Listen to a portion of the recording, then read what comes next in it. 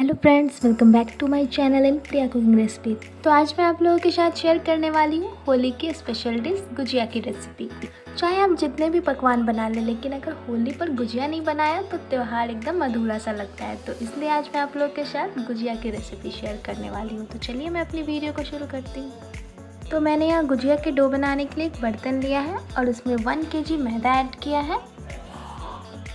मैंने यहाँ एक के मैदा लिया है तो हम इसमें 200 एम तेल डालेंगे। आप चाहे तो इसमें घी भी यूज़ कर सकते हैं, पर मैंने यहाँ तेल ही यूज़ किया है। पर घी डालने से क्या होता है कि हमारी गुजिया उतनी क्रिस्पी नहीं हो पाती जितना तेल डालने से होता है। तो अब हमें मैदा और ऑयल को अच्छे से मिलाना है, ताकि ये अच्छा से एक दूसरे में मिल जाए और काफ़ी क्रिस्पी बने। हमें यह लगभग इसे पाँच से छः मिनट तक मिलाते रहना है। हमें इसे तब तक मिलाते रहना है जब तक ये अच्छे से भुड़भुड़ा ना हो जाए। आप यहाँ देख सकते हैं कि काफ़ी अच्छे से मिल चुका है। तो अब हम इसमें हल्का हल्का पानी डालते हुए इसका एक सॉफ्ट डो रेडी कर लेंगे। एक बार में हम ज़्यादा पानी ऐड कर नहीं करेंगे, नहीं तो हमारा डो गीला हो सकता है। तो वो फिर दिक्कत हो जाती है हमें बनाने में, इसलिए हमें धीरे धीरे पानी ऐड करके इसका सॉफ्ट डो रेडी कर लेंगे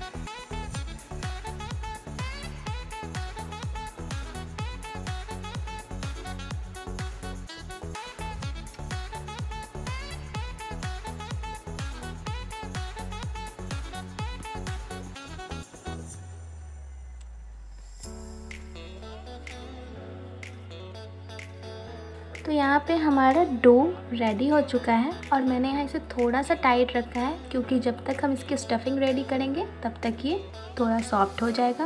तो अब मैंने इसे ढक के रख दिया है। तो अब स्टफिंग बनाने की बारी आती है। तो मैंने यहाँ गुजिया की स्टफिंग बनाने के लिए मैंने यहाँ आधा किलो सूजी लिया है। जितना हमें सूजी लेना है, उतना ही हमें चीनी लेना है। मैंने यहाँ बराबर मात्रा में चीनी ली है। तो अब मैंने यहाँ आठ से दस काजू को छोटे छोटे टुकड़ों में काट लिया है। मैं आठ से दस मैंने यहाँ किशमिश लिया था, उसे भी मैंने कट कर लिया है। और मैंने यहाँ दस से बारह बादाम लिया था, उसे भी मैंने छोटे छोटे टुकड़ों में कट किया और यहाँ नारियल मैंने पच्चीस ग्राम लिया था, यहाँ आप देख सकते हैं मैंने इसे भी कट कर लिया है। और यहाँ घी मैंने फोर टेबल स्पून लिया है। इसके बाद मैंने यहाँ चार इलायची ली थी, जिसके दाने को मैंने अच्छे से पीस दिया। और अब मैंने यहाँ ढाई सौ ग्राम खोआ, जिसे हम मावा कहते हैं, मैंने यहाँ ढाई सौ ग्राम लिया है। अब हम गुजिया की स्टफिंग बनाने की तरफ़ बढ़ते हैं। तो सबसे पहले मैंने कढ़ाई को गर्म होने के लिए रखा है और अब हम इसमें सारे घी को ऐड कर लेंगे।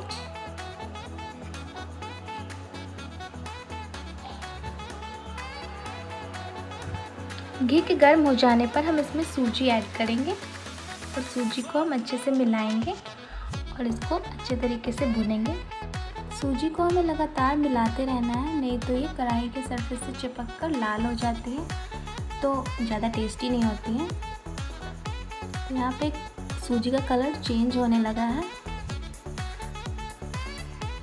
तो अब यहाँ सूजी फ्राई हो चुकी है तो अब मैंने गैस को ऑफ़ कर लिया है और अब इसे हम ठंडे होने के लिए कुछ देर के लिए रखेंगे।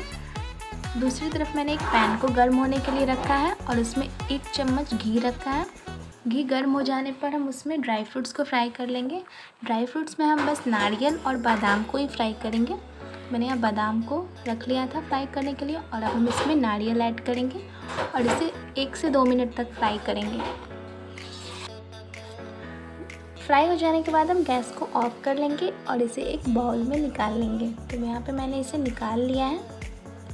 और अब हम उसी कढ़ाई में मावे को अच्छे से गर्म करेंगे।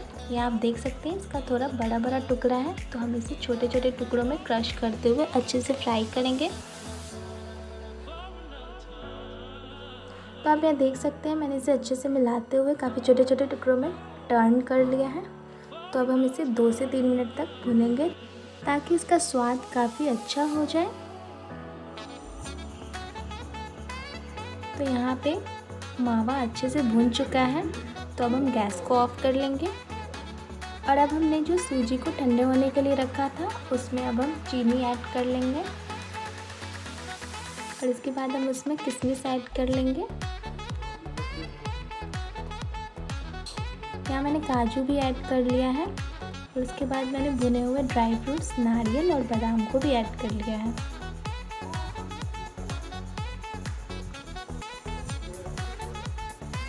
सब चीज़ों को ऐड करने के बाद हमने जो फ्राई किया था मावा, उसे भी हम इसमें ऐड करेंगे।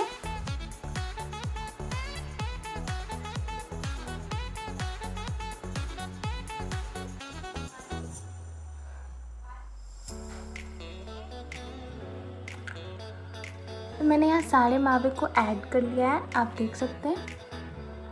तो इसके बाद हम इसमें इलायची ऐड करेंगे।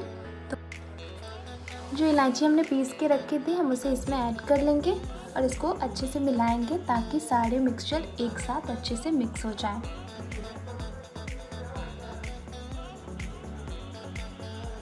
तो हमें धीरे धीरे इसको अच्छे से मिला लेना है।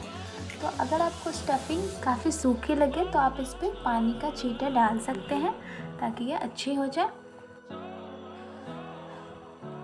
तो यहाँ हमारी गुजिया की स्टफिंग एकदम रेडी हो चुकी है। तो अब हम इसे एक दूसरे बर्तन में निकाल लेंगे।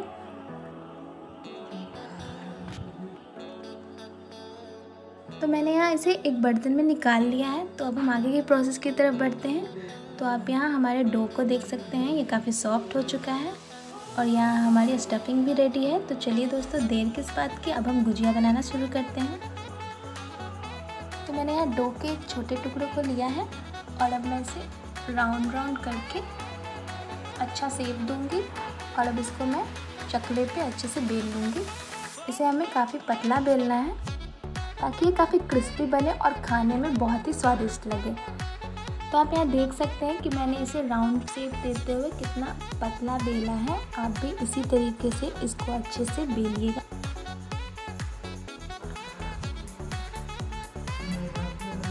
तो अब बारी आती है गुजिया में स्टफिंग भरने की बारी। तो मैंने यहाँ गुजिया मेकर लिया है और इसके ऊपर मैंने इसे रखा है। और अब हम इसमें एक छोटे चम्मच स्टफिंग को ऐड करेंगे।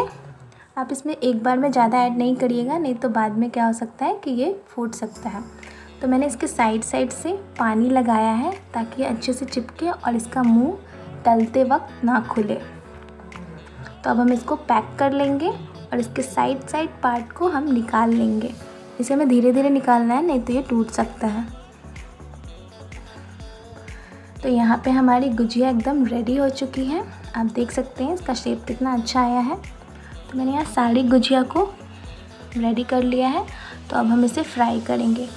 चलिए फ्रेंड्स अब हम आगे की तरफ़ बढ़ते हैं। तो मैंने यहाँ एक कढ़ाई में तेल को गर्म होने के लिए रखा है। जब तेल गर्म हो जाएगा तो हम इसमें गुजिया ऐड कर लेंगे। और इसे हमें मीडियम फ्लेम पे ही पकाना है, नहीं तो एक बार में ये लाल हो जाएँगी और अंदर से अच्छे से नहीं पकेंगी।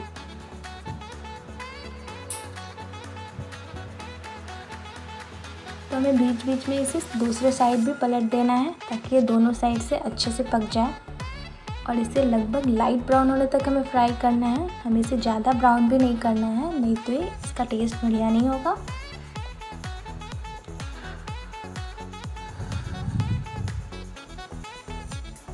तो यहाँ पे हमारी गुजिया एकदम रेडी हो चुकी है। तो अब हम इसे बाहर निकाल लेंगे।